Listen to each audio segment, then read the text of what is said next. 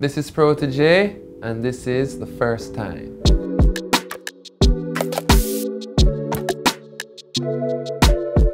First time I ever bought an album, I was 13 years old, and I started hearing about hip hop. West Coast stuff was really cool to me, and I bought Snoop Dogg Doggy Style. First time I ever wrote a song, I was probably about the same time, about 13 years old, and I was doing in Jamaica a thing called Sound Clashes, where it's like a rap battle, then you would call it.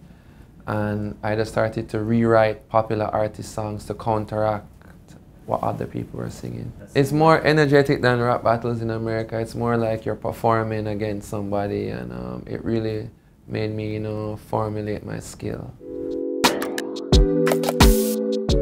I went on stage, somebody, another artist at the time called Collie C gave me the mic to sing and when I started to sing the mic cut off.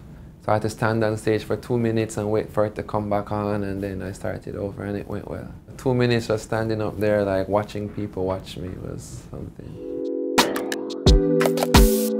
It was with, with Kanye and Just Blaze them sampling old R&B and soul records and I was like, yo, maybe I could, because I like hip hop flow and patterns, I was like, maybe I could sample old reggae or rockers type of songs and give them an updated bop to it. And that's about 2005. And I think Welcome to Jamrock, Damian Marley album came out about that time and he was kind of doing that to an extent and kind of gave me the confidence I was on the right path.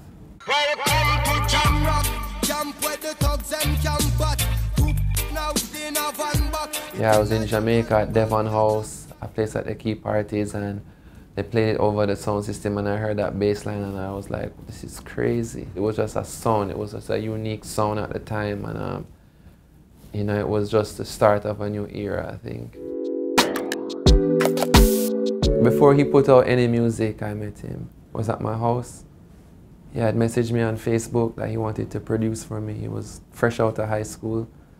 And I invited him to my house to hang out and he came over and sang some songs and I was blown away and we've been friends since. I was like, this guy is amazing, like, so I knew it. For sure, uh, it was a Tuesday. I was just running at Emancipation Park in Jamaica and I came back to the car. It was about like 6.26 because it was right before they do the lottery draw in Jamaica and that's a big thing on radio. So they played it right before that. I knew the DJ was gonna play it that day, but I didn't know what time. But I was just bleaching on it, just making sure I heard it. So it was cool. It was Arguments, a song called Arguments.